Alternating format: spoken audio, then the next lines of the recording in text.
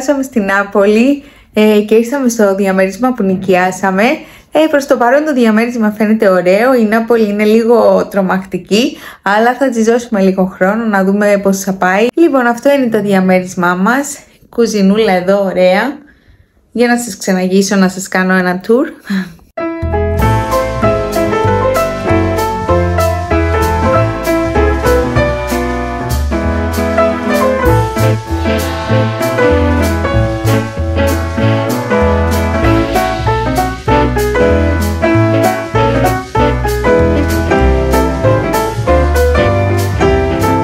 Για αυτό είναι το σπίτι, μικρό και λειτουργικό, ελπίζω να σας άρεσε. Οπότε πάμε να εξερευνήσουμε, να δούμε τι ομορφιές θα ανακαλύψουμε.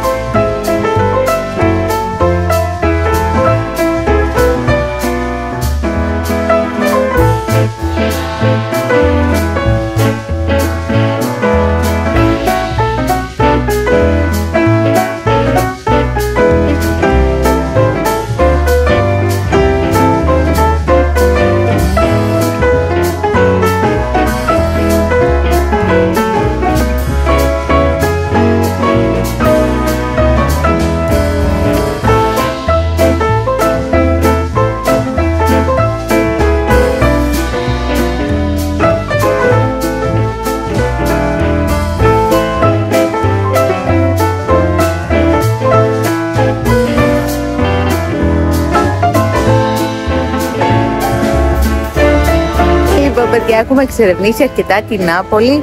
Ε, αυτά που ήθελα να σας πω είναι ότι η Νάπολη έχει δύο πλευρές. Η μία πλευρά είναι αυτή ε, με τους τουρίστες που είναι όμορφη και δεν υπάρχει ίχνος από ζητιάνους κλπ. Η άλλη πλευρά ακριβώς το αντίθετο είναι γεμάτη άστεγους και ζητιάνους όπως κάθε μεγάλου πόλη θα μπορούσα να πω. Ε, βαθμός επικινδυνότητας, ναι φοβάσαι αλλά δεν έχω δει κάτι ακραίο Οπότε παιδιά αξίζει τον κόπο να έρθετε στην Νάπολη. Ε, όπως σε κάθε μεγαλούπολη οι άνθρωποι κοιτάνε τη δουλειά τους οπότε δεν ενοχλούν. Το άλλο που ήθελα να πω είναι ότι σε κάθε στενό, ε, ειδικά εδώ στις λαϊκές πλευρές, ε, βλέπεις παντού σημαίες με το Μαραντόνα, μπλούζες του Μαραντόνα, ε, Μαραντόνα παντού.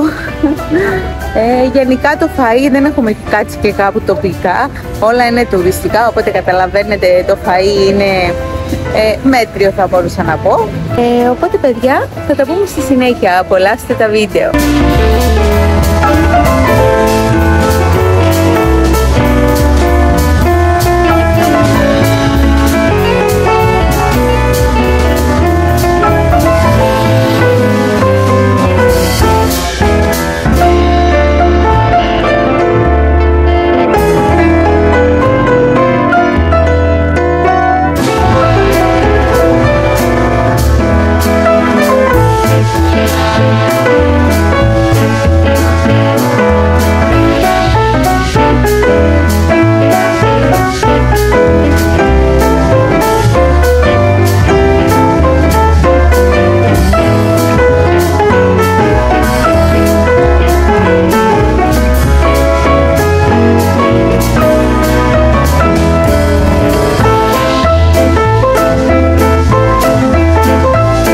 Παιδιά, το άλλο που ήθελα να σας πω είναι σχετικά με τους δρόμους και τις διασταυρώσεις. Ε, δεν σταματάνε με τίποτα, είναι πολύ επικίνδυνο, πρέπει να προσέχεις πάρα πολύ. Ε, οπότε αυτό, πάμε παρακάτω.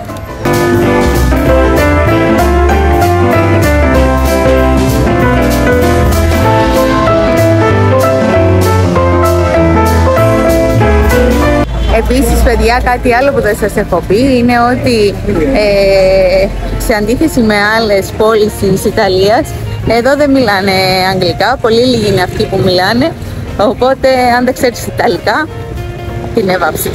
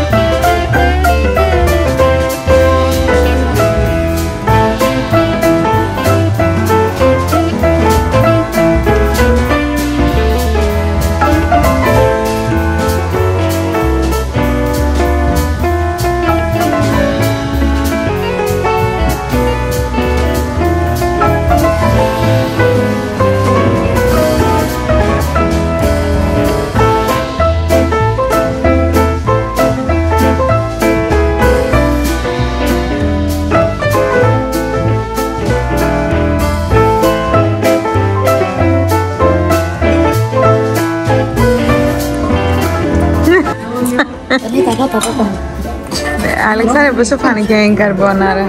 Specialità d'Italia, πολύ ωραίο. Μου άρεσε πάρα πολύ. Per favore. Πώς σου φάνηκε το ριζότο. Πολύ ωραίο.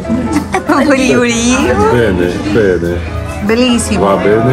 Bellissimo. Bellissimo. Νεφέλη, πώς σου φάνηκε η πίτσα. Και πολύ ωραία, θα την βάλω. Πόσο θα τις βάλεις. 7 στα 10.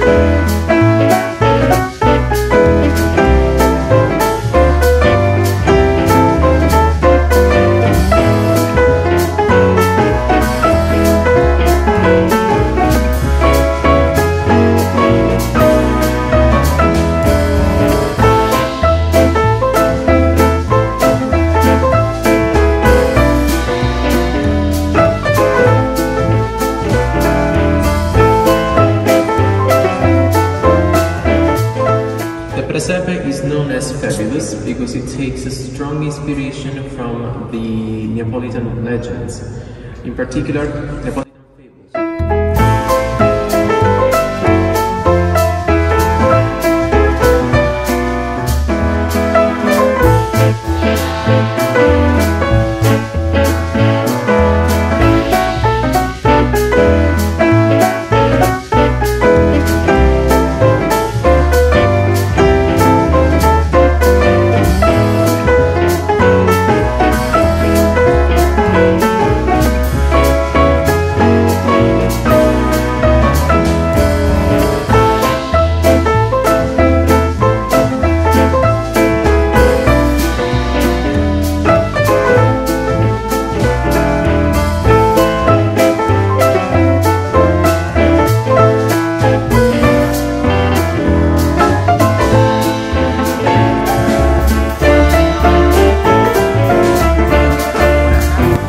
παιδιά, μόλις τελειώσαμε από την πρώτη ξενάγηση ε, στις πρώτες κατακόμβες. Ήταν κάτω από την εκκλησία ε, και ήταν ε, στην ουσία τάφη ευγενών.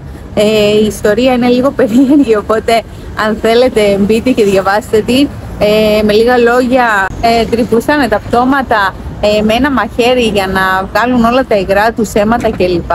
Ε, και μετά παίρνανε το κεφάλι και το βάζανε πάνω στους τοίχους και ζωγραφίζανε το υπόλοιπο σώμα ε, οσό του έτσι να μείνουν στην αιωνιότητα. Ήταν πάρα πολύ όμορφη εμπειρία, οπότε αξίζει με χίλια να έρθετε και να το δείτε. Σειρά τώρα έχει, να πάμε στη δεύτερη κατακόμβη.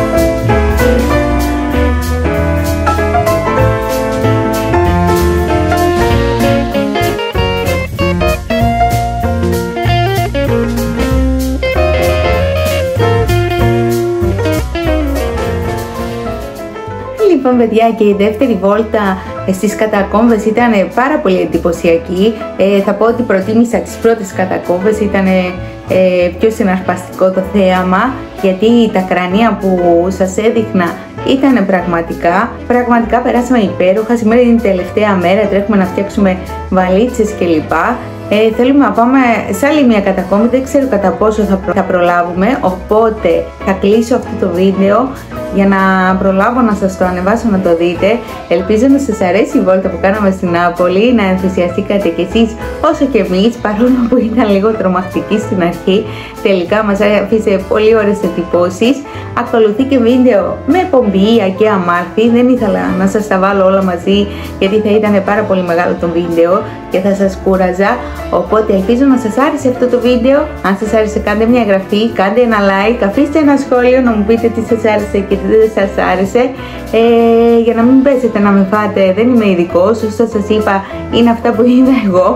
Οπότε σας ευχαριστώ πολύ, καλή συνέχεια, καλό τρίμερο και καλά να περάσετε. Yeah!